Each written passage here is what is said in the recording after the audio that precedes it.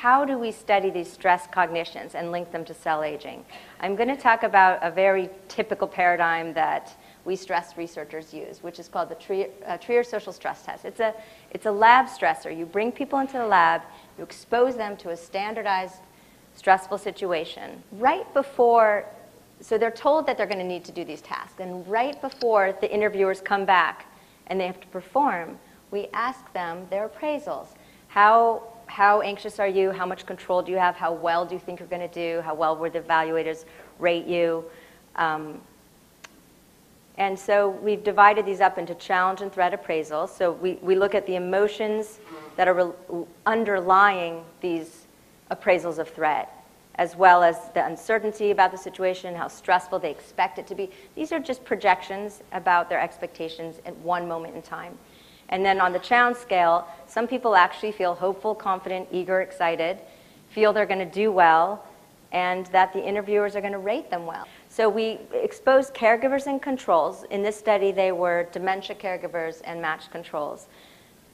And we exposed them to the social stress test. We measured their appraisals beforehand, how they're anticipating it will go. We measure their evaluations right afterward as well in the same way. Turns out evaluations don't matter nearly as much as that projection, um, the anticipatory appraisal.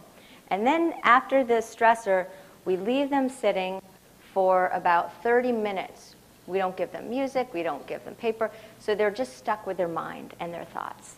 And then we measure how much they ruminated. This is depressive rumination, self referential negative thoughts. Some uh, feelings like I feel worthless, I did terribly, I wasn't able to concentrate, um, and we measure how frequent they had any of these thoughts. So this rumination measure turns out to be very important. We also measure trait rumination in all our studies, and trait rumination is, is often much weaker than this kind of thin slice of online rumination that we can get.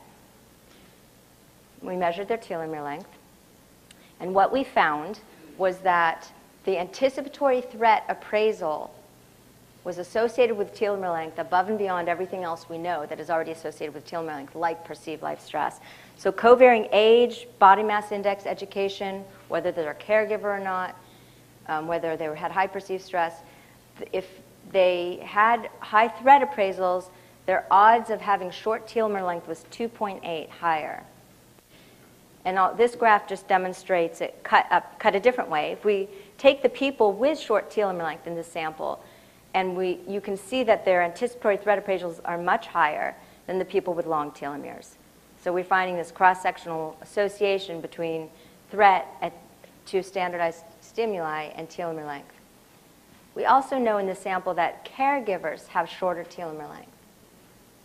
So that raises the question, are caregivers who are under more stress every day, uh, do they have shorter telomeres because of this, this tendency to have more cognitive stress. And so we did this kind of statistical mediation model, and indeed, you what we find is that caregivers have exaggerated threat appraisals. Their brain, you know, you can imagine their amygdala activation is kind of chronically higher in response to the standardized stressor. They're interpreting it as more threatening.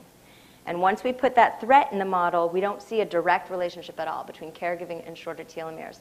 So we're, tr- we're trying to isolate and say, well, that's this kind of thought stress that is this online tendency that's probably part of the active ingredient of what chronic stress is and why they're having shorter telomeres.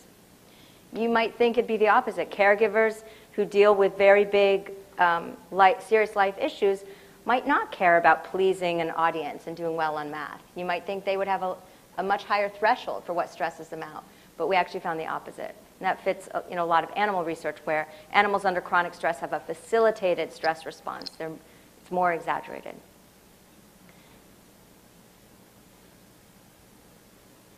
So then we measured rumination after the stressor. Now, trait rumination was not associated with telomere length in the study, but the tendency to ruminate more frequently in that 30 minutes after the stressor was associated with both shorter telomeres and damped down telomerase. So we think rumination is a really easy to measure, important form of chronic stress. So in some, we found that anticipatory threat, thoughts about how bad th- this is going to go, ruminating after the fact are related to shorter telomere length.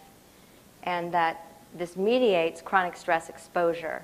So someone might be under, have a chronic stressor in their life, but if they're not engaging in all this cognitive stress, then they're probably protected. And you might imagine they might have a lot more metacognition, they might be more mindful. We haven't, we're planning an intervention for caregivers. We haven't gotten there yet. So how does chronic stress get under the skin? I hear John's voice here, worrying about the future, ruminating about the past.